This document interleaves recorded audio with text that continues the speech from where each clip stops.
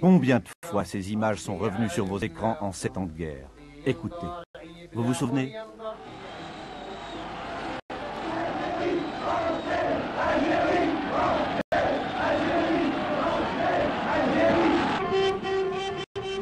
Aujourd'hui, Alger tient à nouveau l'affiche. Mais ce n'est plus le temps de la fièvre tricolore, des folies homicides et des drames personnels. Non, l'Alger d'octobre 63 ne brûle plus de la même fièvre. Le virus s'est logé à 150 km plus à l'est, en Kabylie, d'où l'un des anciens compagnons de captivité de Ben Bella brave ouvertement le pouvoir central en faisant de la surenchère socialiste. La relative incertitude qui en découle pour les lendemains benbellistes polarise l'attention sur une capitale retenue sage. À Alger, on ne tue plus, on ne mitraille pas davantage, on attend. La ville a perdu près de 300 000 Français partis pour ne pas voir ça. Le drapeau du FLN sur le palais qui incarnait une certaine idée de la grandeur. L'influence française s'effiloche. Ses traces les plus visibles, ce sont les coffres vides des entreprises de déménagement abandonnées sur les quais. Mâles de pieds noirs en parfois pillés avant d'avoir pu embarquer, valises géantes qui emportèrent pêle-mêle vers la métropole espérance déçue et rancœur recuite, les meilleurs de ces bâtis servent aujourd'hui de gîte aux miséreux d'une ville surpeuplée malgré sa saignée d'Européens. Mais les influences se renouvellent. La Chine de Liu Shaoxi est présente à Alger. Elle y entretient 300 fonctionnaires d'ambassade parfaitement invisibles mais diablement actifs, une exposition bric-à-brac qui montre aux Algériens comment on va au socialisme.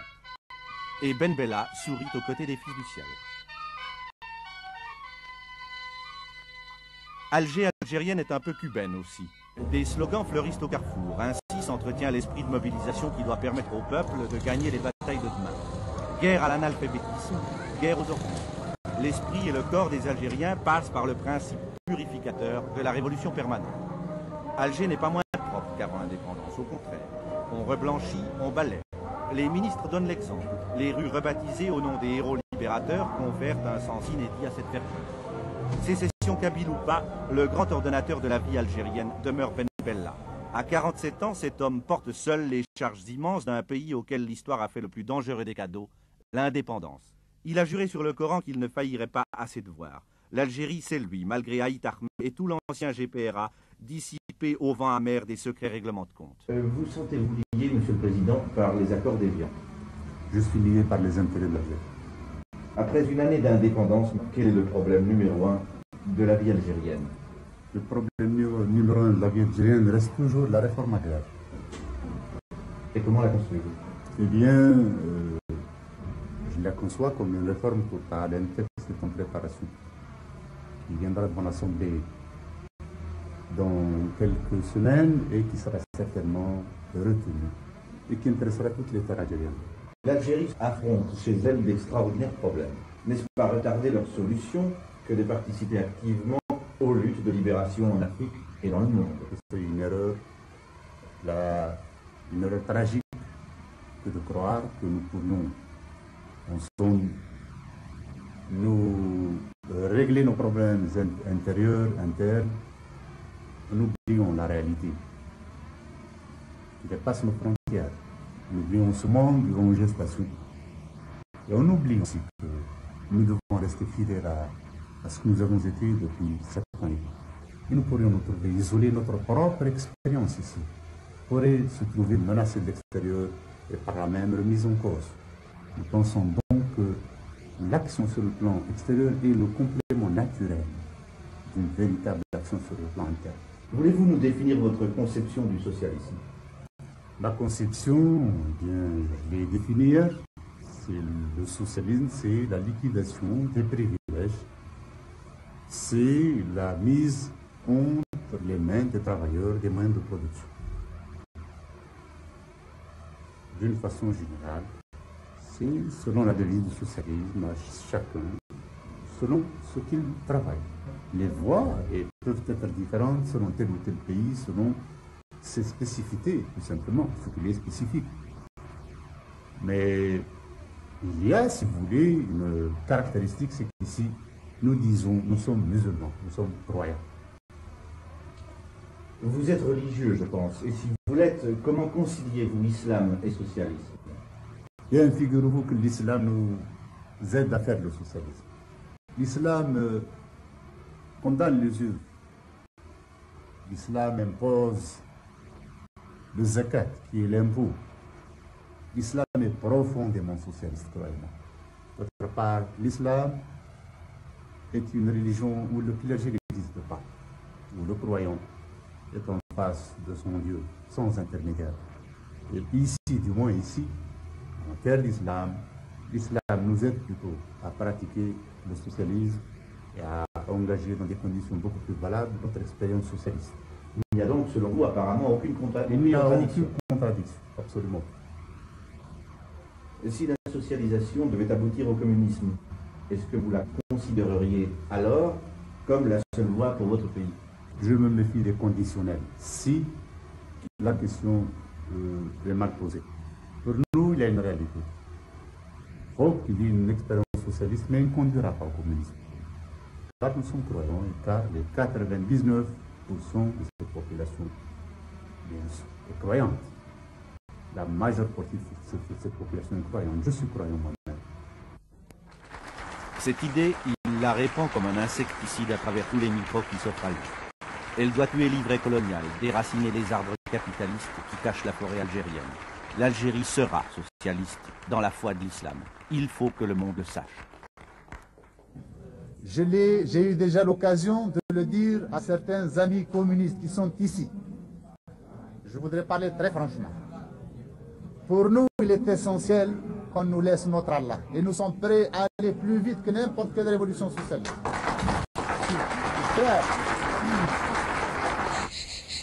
Les Français partis, c'est autant de rideaux baissés et de portes fermées sur les possibilités d'aménager ce pays.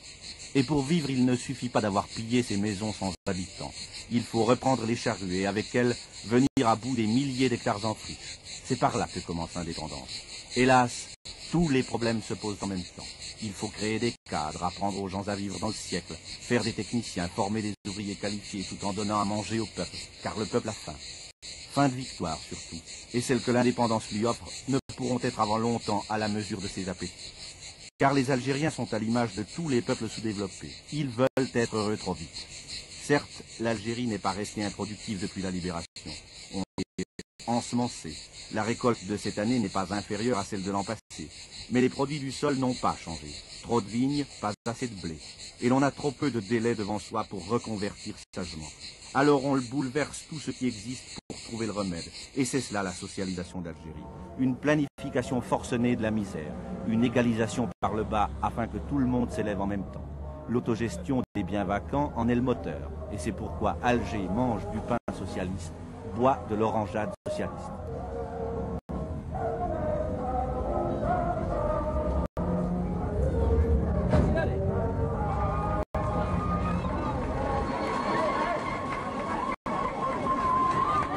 Ben Bella paie d'exemple. Le voici à l'inauguration d'une coopérative de teinturerie abandonnée par les Français. Est-ce la place d'un président de République? En Europe, non. En Algérie, oui. Il n'y a pas de sotte besogne quand il s'agit de galvaniser le peuple et de lui donner ses moyens d'exister. Ben Bella court partout, fait tout. C'est la première fois que l'Algérie a un patron à elle. Il a la faveur du peuple, malgré la dissidence kabyle. On l'écoute et on le suit. Pourquoi? Parce qu'il nationalise. Nous aimons Bella et nous le- le- les aidons. Nous les, les aidons. À cause Parce que c'est un vrai socialisme. Mais vous savez ce que c'est le socialisme Oui, je sais, socialisme. Expliquez-moi. Socialisme, c'est-à-dire que nous sommes à l'égalité par, par droit comme euh, pauvres, nous sommes tous en s'aidant. Par exemple, un type qui est pauvre, on doit les aider. Hein? Nous sommes tous égaux, c'est-à-dire il n'y a pas de distinction ni considération. Tout le monde est égaux. Maintenant, nous aimons Bella, c'est à cause de ça. On est très d'accord avec Ben Bella. C'est M. Ben Bella qui est aux côtés de la population tout entière. Vous lui faites confiance. On lui fait confiance. Oui, oui, moi j'ai confiance en lui, je, je l'estime. Quant au pied noir resté en Algérie, il préfère parler de dos. Écoutez-le. Ben Bella est peut-être un type très bien, compétent, il a tout au moins la sympathie de la masse. Et il est entouré d'une bande de truands. Il y en a beaucoup qui profitent de ce, ce actuel pour s'en mettre plein les poches. Et puis, je pense qu'il a beaucoup à faire pour arriver à ce qu'il veut. Le Kabyle, c'est pire encore. Il refuse caméra et enregistreur. Ben Bella, dit-il, c'est un homme honnête et compétent, mais il est tout seul. J'étais en Russie, moi, et en Chine pendant la révolution algérienne. Le socialisme, je l'ai vécu. Ben Bella y va trop vite. C'est la voie de la sagesse. Bien sûr, aucune recette, surtout politique, ne vaut à 100%. Et Ben Bella le sait. Mais comment résister à l'accélération vers le socialisme quand tout le peuple y pousse malgré son ignorance des problèmes essentiels? C'est pourquoi Ben Bella fuit en avant, entraînant les fellahs derrière lui. Son pouvoir tient aux quelques longueurs d'avance qu'il conserve sur eux. Quand il leur parle, il les fascine. Il dit les choses avec des mots que tout le monde comprend. C'est ce qui fait sa popularité, ce qui produit autour de lui une telle impression d'unité. Et Allah seul sait combien l'unité est nécessaire à ce pays exsangue, à ce peuple qui n'a pas fini de faire des sacrifices.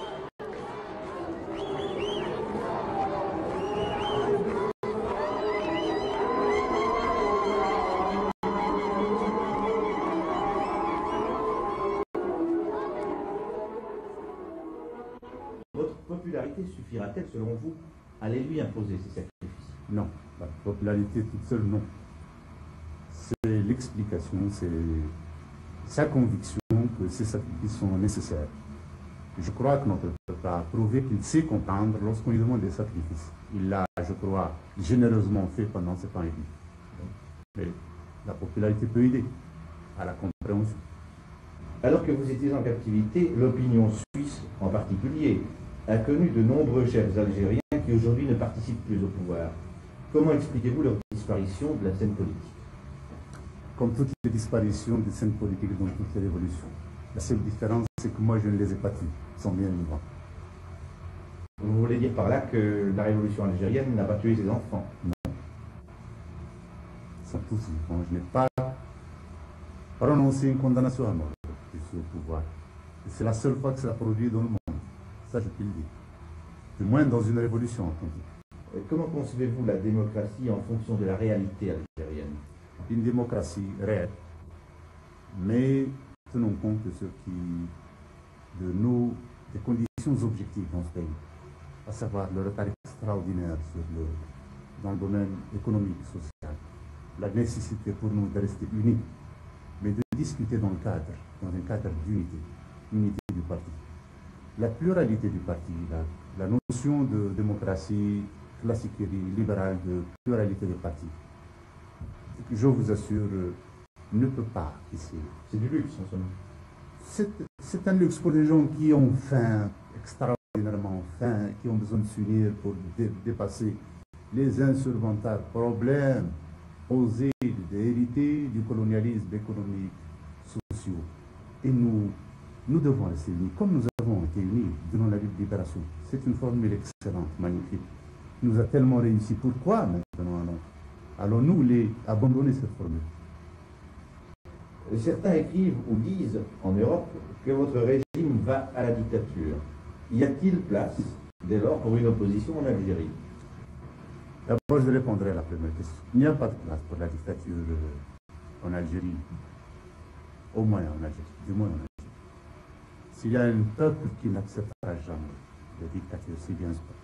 Et le peuple algérien est un peuple qui est très extraordinaire dans une période de libération, mais je vous assure, ce n'est pas un peuple qui est un peuple qui suit n'importe quoi. Et je crois que s'il y a quelque chose qui n'a pas de chance dans ce pays, c'est la dictature. Maintenant, je répondrai, les dictatures ne ba- ne se promènent pas au milieu de peuple. Je n'ai pas de garde personnelle. Je suis toute la journée dans la rue. Il n'y a pas de prison de mon concentrationnel chez nous. Nous n'avons pas de prisonniers politiques. Presque pas une infime partie, on parle quelques 10, quelques 15 prisonniers politiques? Les régimes dictatoriaux, ou bien, leur caractéristique, c'est l'appareil policier, c'est... Ça là n'existe pas ici, et je crois que l'observateur impartial, cela, il le, il le note.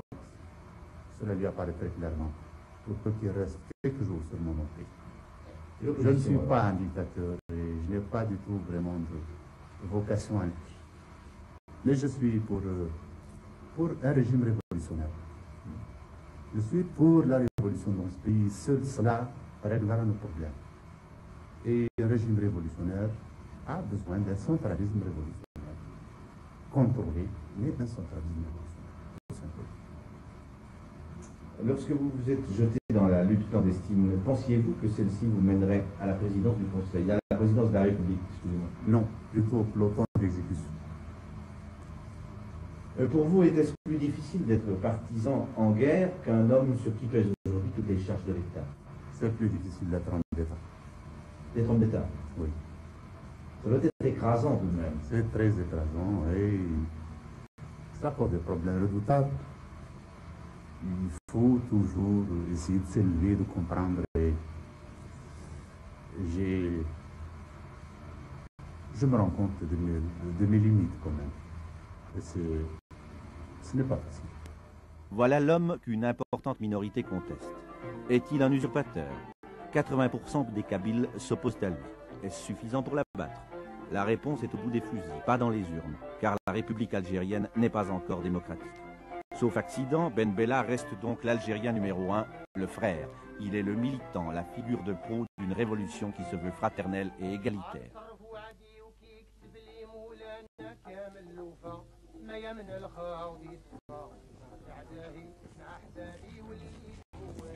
Le voici chez Borjo, au fameux domaine de la Trappe, véritable sanctuaire de l'ancienne colonisation. 1800 hectares au soleil, un palais de rêve. Le tout est nationalisé depuis le 30 avril.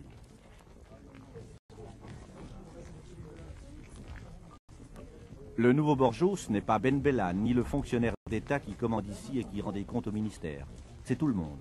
La trappe appartient au peuple, dit le frère, comme désormais toutes les terres des moyens et petits colons français qui avaient cru pouvoir vivre en Algérie.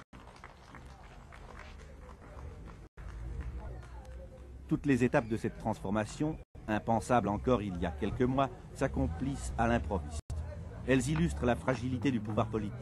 Elles paient tribut à la fatalité, à l'improvisation aussi. C'est si vrai que lorsque Ben Bella vient en visite chez Borjo, on ne sait pas où est la clé qui ouvrira la porte du château. Ainsi va parfois la nationalisation.